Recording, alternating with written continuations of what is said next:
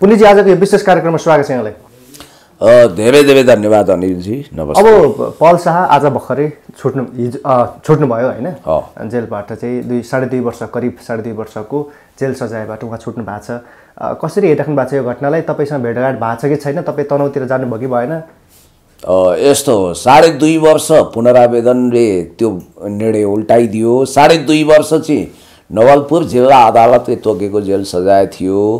पुनरावेदन गर्दाखेरि हाइकोर्ट पोखरामा त्यो फैसला उप चित्त बुझेन भनेर पलका वकिलहरूले परिवारले त्यसमा फेरि निवेदन दिँदाखेरि उहाँलाई आज बाइज्जत रिहा गरेको छ।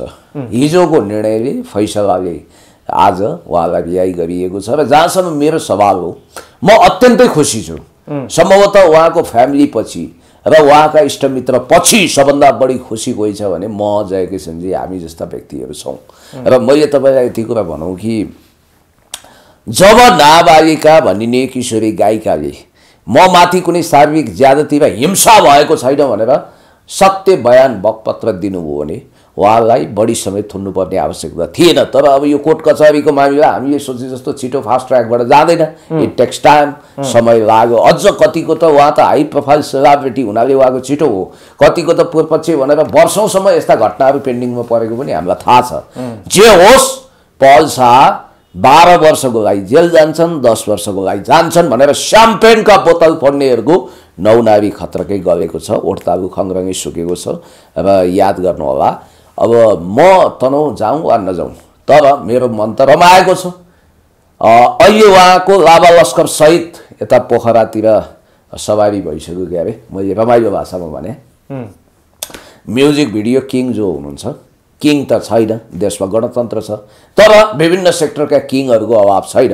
महानायक राजेश हमाल भने जस्तै उहाँ म्युजिक भिडियो सेक्टरको एकदमै बेताब बादशाह हुनुहुन्छ। सम्भवतः अब शुष्क खडेरी लागेको म्युजिक भिडियो क्षेत्र पनि अब मौलाउने छ केही समय र सिनेमामा पनि दुई चारवटा राम्रा हिट मुभीहरू अब उहाँले दिन सक्नुहुन्छ। खास गरी म यस्तो गीत गाउँछु टुले एउटा कथा भनेको थियो जुन इन्कम्प्लिट थियो अधुरो थियो। थ्रीमा उहाँ देख्न पाइन्छ। पल शाहजीको चाहना चाहिँ अब मलाई थाहा छैन है। उहाँले जेलभित्र रहँदा व्यक्त गरेको अज्ञात चाहना। मैले आफ्नो कानले सुनेको छैन उहाँको मुखबाट। तर पुण्य गौतम र जय किसन दाईले मेरो बारेमा यति धेरै बोल्नु भएको छ कि उहाँहरूलाई पनि कुनै न कुनै ढङ्गले स्पेस दिनुपर्छ भन्नुभएको छ अरे। म कलाकार त होइन। होइन कलाकार होइन पुण्य गौतम नै बनेर केही मैले आफ्ना सकारात्मक अभिव्यक्ति दिन सक्छु। त्यसको स्क्रिप्टमा मसँग छलफल गर्नुपर्छ। सबभन्दा महत्त्वपूर्ण कुरा फाइदा घाटाको कुरै भएन। एउटा मानवीय ढङ्गले लागेको मान्छे हो। हिजो तपाईँलाई थाहा छ नि उहाँको श्वासै गनाउँछ जस्तो बिस हात पर बस्ने उहाँको विषयमा एउटा पनि इन्टरभ्यू दिन नमान्ने अझ कर्पोरेट मिडियाहरूको बोली पो बोली मिलाएर। कहिलेकाहीँ त रविजीले उठाएका कुरा ठिक जस्तो पनि लाग्छ कि कर्पोरेट मिडियाहरूले आजकल न्युज रुममा न्युज म्यानुफ्याक्चरिङ गर्छन् समाचार निर्माण गर्छन् के समाचार बनाउँदैनन्। सुटिङ गर्छन् आजकल। रण भन्ने एउटा अमिताभ बच्चनको फिल्म हेर्नु होला तपाईँले कुनै घटना भए जस्तै गरी प्रस्तुत गर्नु गोयबल शैली हो। र भएको घटनालाई छायाङ्कन गर्नु वा त्यसको विषयमा लेख्नु यथार्थ पत्रकारिता हो। तपाईँ पत्रकारिता गर्ने कि सुटिङकारिता गर्ने? त्यो तपाईँको हातमा छ। मैले भन्न खोजेको कुरा के भने सस्तो लोकप्रियताको लागि जे पनि बोलिदिने हिजो बलात्कारी भने होइन पल शाहलाई मैले आजदेखि पल शाहजीलाई बलात्कारी भनेर इन्टरभ्यू दिनेहरूले सायद जाँदा यहाँबाट जानु अगाडि आफ्ना पुरानो भिडियो डिलिट गर्न बिर्सिनु हो कि अथवा डिलिट गरेर जानुभयो थाहा छैन। तिन महानुभाव देखाएका थिएँ। तिनजना जसले पल शाहलाई हिजो कर्पोरेट मिडियामा गएर ठुला टेलिभिजन हाउसमा र न्युज रुममा छिरेर बलात्कारको चार्ज लागेको हुनाले हामीले यस विषयमा केही बोल्न मिल्दैन भनेर भन्नुभएको थियो नि त। आज त मैले उहाँ देखेँ। त्यही भएर हाम्रो समाजमा एउटा उखानै भनेको छ। लङ्का जलाउने हनुमान पगरी गुत्ने ढेडु अर्थात् काम गर्ने कालु मकै खाने भालु श्रम तपाईँ गर्नुहुन्छ बाली अर्कोले काट्छ। हामी म जय किसनजी हामी त्यही भएर दिगदारी हौँ। हुन त हिजो जय किसनजीको मोटर अलिक कन् कन्डिसनमा भइदियो भए हामी पुग्थ्यौँ। अब बिहान उहाँले राम्रैसँग सुत्नुहुन्छ। बिहान जाने भने पनि त्यस्तै भयो। र मलाई नगएकोमा पश्चाताप किन छैन भने एयरपोर्टमै स्वागत गरौँला पछि गरौँला मैले मेरो स्पेस फोको फोकेको कार्यक्रममा पनि उहाँलाई ल्याउँला पल त मेरो भाइ हो। दुई वर्ष अगाडि उहाँ मेरो जन्मदिन सेलिब्रेसन गर्न आउनुभएको थियो। चिम्टीका दुई खुट्टा जस्तै देखिने अर्को गायक त उहाँसँग नदीको दुई किनार भइसक्नु भएको छ। तर पनि याद गर्नु होला यसपटक पनि पल भाइलाई मैले हृदय खनाएर माया सम्मान गरेको छु खादा बोकेको छु लगाइदिन्छु र उहाँ त्यो सम्मानको लायक पनि हुनुहुन्छ। तर कुरा चाहिँ के हो भने हामी पोखरा वा तनहुँ जाउँ वा नजाउँ हामीले बोलेका हजारौँ भिडियोहरू कुनै न कुनै रूपमा उहाँलाई कैदबाट मुक्त गर्नको निम्ति कामयाब भएछन् भने हामी आफूलाई धन्य सम्झिनेछौँ। र अर्को कुरो के देखियो भने अब छन् गेडा सबै मेरा छैनन् गेडा सबै टेढा अब पलको नाम सुन्दासाथ नाक नाक खुम्चाउने सुन्दरीहरूको पनि अहिले पल दाई मलाई एक मौका दिनु पर्यो भनेर अब लाइन लाग्ने सम्भावना देखियो अरे मैले सुनेको यो माया नगरी हो फिल्म नगरी हो नौटङ्की र नाटक खुब चल्छ यहाँ। तपाईँलाई थाहा छ। त्यस कारणले गर्दाखेरि पेज थ्रीमा नअटाएका पात्रहरू पनि पल शाहको छेउमा बसेर फोटो सेसन गर्दा आफूलाई मानौ अमिताभ बच्चनको छेउमा बसेको कुनै जुनियर आर्टिस्ट जस्तै मुस्कुराइरहेको देख्छु. अब पल शाह फेरि फिल्म लाइनमा कमब्याक चाँडोभन्दा चाँडो गर्छन् होला कि अथवा चाहिँ नि उनले केही स्पेस समय लिएर गर्छन् होला कि तपाईँले प्राप्त गरेको जानकारीमा अथवा चाहिँ तपाईँको व्यक्तिगत एउटा सुझावमा चाहिँ के हुनसक्छ? तात्तातै उहाँ आइहाल्नुपर्छ कि? अथवा चाहिँ नि एउटा सडन टाइम ग्याप गरेर मलाई आज अनपेक्षित तरिकाले एउटा कल आयो। उठाएँ। पलजी त भर्खर छुट्नु भएको छ। उहाँको तातो टेलिफोन नम्बर त नहोला। अथवा पुरानै कल पनि उहाँले एक दुई दिन लाग्दा भरेतिर चलाउनु होला पुरानै नम्बरमा। तर कुनै नयाँ नम्बरबाट आयो फोन। आउँदाखेरि मैले उठाएँ। म फलाना भनेर आफ्नो नाम बताउनु भयो उहाँले मलाई अचम्मै लाग्यो। उहाँले के भन्नुभयो भने उहाँलाई भ्रम पऱ्यो वा के भयो? पुण्य गौतम र जय किसन यहीँ हुनुहुन्छ भन्ने उहाँलाई परेछ के अरे। पोहोर साल अनौठो कुरा के भने क्यालेन्डरमा चिनो लगाउनुहोस्। फागुन पन्ध्र गते उहाँ पक्राउ परेको। ठ्याक्कै मिलेनियम च्यालेन्ज कर्पोरेसन जस्तो घातक सम्झौता पास भएको दिन सदनको कालो दिनमा उहाँ त्यहाँ गएर गिरफ्तार हुनुभयो। हामी पनि सँगसँगै गएको थियौँ हिरासतमै भेटेको हो उहाँलाई। एक वर्ष भएछ। कस्तो संयोग? फागुन पन्ध्रमै उहाँ गिरफ्तार हुनुभयो। फागुन पन्ध्रमै छुट्नुभयो। फैसला हिजो भयो तर छुट्ने काम आज भयो। भन्ने बित्तिकै इतिहासको यो एउटा रोमाञ्चक संयोग भनौँ। र अर्को कुरो मलाई उहाँले सम्झिनु भएको रहेछ। त्यहाँ भेट्न जानेहरूसँग पनि सम्झना राख्नुहुन्थ्यो अरे मेरो नाम लिनुहुन्थ्यो अरे हाम्रो नाम लिनुहुन्थ्यो। लिनु त्यति अब उहाँको महानता हो। म उहाँलाई धन्यवाद भन्न चाहन्छु। यति हो कि अब कुनै पनि युवकले यो देशमा सन्दीप लामिछाने वा पल शाह जस्तो नियति भोग्नु नपरोस्. तर नपरोस् भन्ने एउटा तपाईँको इच्छा चाहना होला तर त्यो इच्छा चाहना चाहिँ रियालिटीमा बदलिन्छ भन्ने पनि त फेरि नहोला नि त। गाह्रो छ। किनभने एउटा भनाइ नै छ नि मान्छे जब दशा लाग्छ भामारीका दशाले घेर्छ साढे साती लाग्छ। त्यसपछि मान्छेलाई एक खालको अन्धवेगले छोप्छ। अर्थात् याद गर्नु होला मान्छे कहिलेकाहीँ भावनामा वशीभूत भएर कमजोरी होइन उसको त्यो महानता होला। केही कामहरू गरिरहेको हुन्छ त्यसको आधारमा माकुरी जालमा फस्छ। अब मैले यति भनौँ कि आकाशको राहु पातालको केतु एकचोटि नपरि कसरी चेतु पटक पटक पर्न पनि हन्डर ठक्कर नखाने धेरै मान्छे मैले यो लाइनमा देखाएको छु। तर उहाँ अब एउटा कुरा ख्याल गर्नु होला अब सायद आमा बुवा आमा दिदीबहिनी देख्नु हो भने पनि एकचोटि ठन्डा दिमागले सोच्नुहुन्छ उहाँले। र उहाँको परम पूज्य माताज्यू आफ्नै दिदी हुनुहुन्छ होला बहिनी परिवारलाई उहाँले पहिला टाइम दिनु पर्यो। यो बिचमा उहाँले सबभन्दा बढी मिस गरेको भनेको फ्यामिली हो। याद गर्नु होला। त्यसपछि उहाँले टाइम दिनुपर्ने भनेको आफ्नो अन्तरङ्ग जिग्री दोस्त।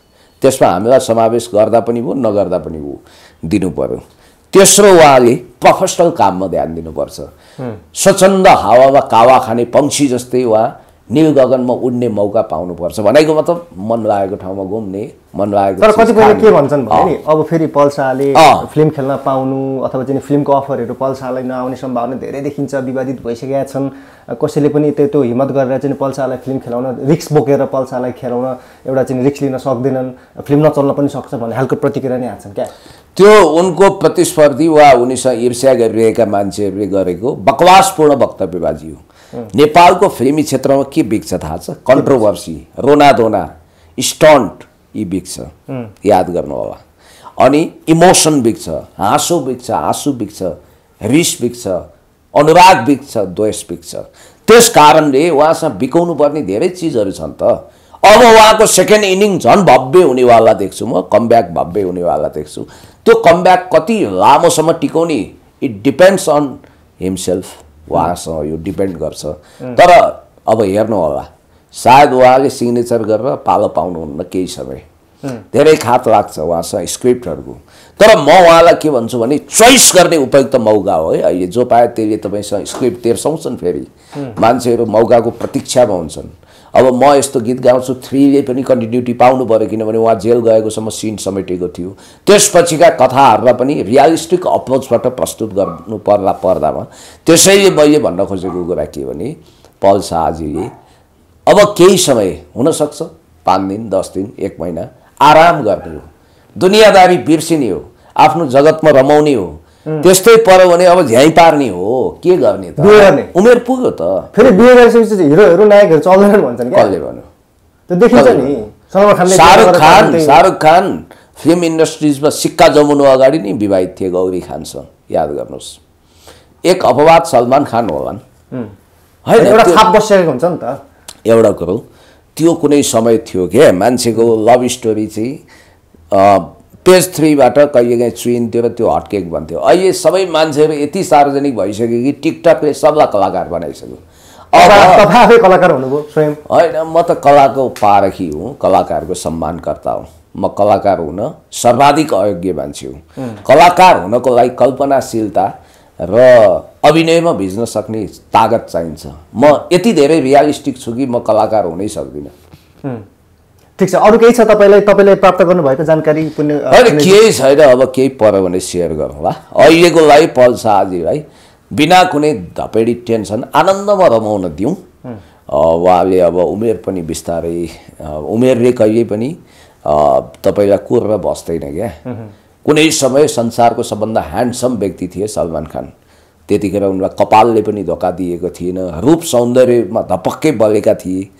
हुन त अहिले पनि उनको अगाडि पछाडि इर्दा गिर्दामा धेरै सुन्दरीहरू उनको लागि सुसाइड नोट लेख्न तयार होलान्। तर त्यो समय उनलाई रगतका लभ लेटरहरू गनि नसक्नु थिए।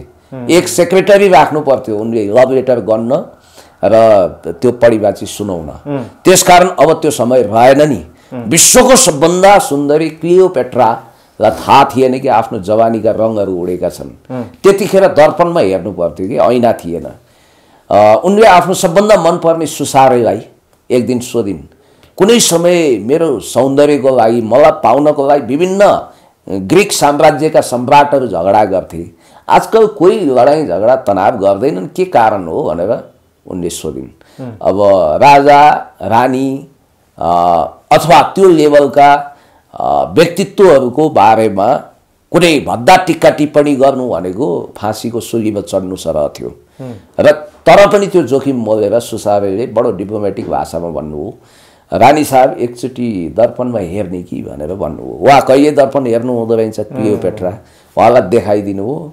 जम्मै चाउरी परिसकेको छ अब कहाँबाट लडाइँ हुनु? त्यस्ता अरू सुन्दरीहरू जन्मिए। त्यसपछि उहाँ डिप्रेसनमा जानुभयो अरे कि क्लियोपेट्रा त्यसैले मैले भनेको संसारको सबभन्दा ह्यान्डसम मान्छे वा संसारको सबभन्दा अद्भुत सुन्दरी पनि बुढी हुनुपर्छ बुढो हुनुपर्छ। मैले भन्न खोजेको के भने पल शाहजी पनि अब तिस पैँतिसको अराउन्ड अराउन्ड पैँतिस पुग्नुभयो होला। अब सायद उहाँको लागि ज्यान दिन्छु भन्नेहरू धेरै होलान्। तीमध्ये छानेर आनन्दसँग विवाह गरेर वैवाहिक लाइफ जिउने आफ्नो प्रोफेसन र करियरमा पनि ध्यान दिने। बुवा आमालाई उहाँले खुसी तुलाउनुहुन्छ सामाजिक काम पनि गर्नुहुन्छ र मेरो आउ आउँदै गरेको जन्मदिन चैत्रमा पर्छ। त्यसमा पनि उहाँलाई दुई वर्ष अगाडि जस्तै यसपटक पनि म आमन्त्रण गर्छु। Thank you so much